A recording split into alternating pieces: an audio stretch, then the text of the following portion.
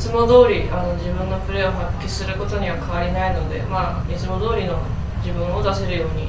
まあ、いい準備をしていくこととやっぱチームとしては